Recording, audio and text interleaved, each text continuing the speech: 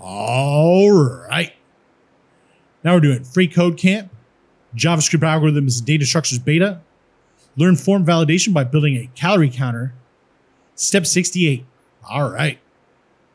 So using that same syntax, we're going to query our number inputs in the lunch ID element and assign them to lunch number inputs. Okay.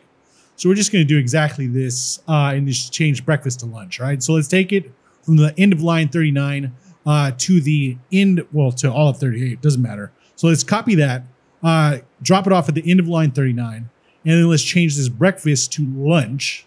All right. Lunch like this.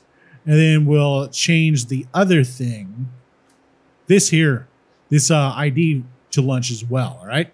So let's uh, check the code. Looks good and submit it. All right. Now we're on to step 69, and we'll see you next time.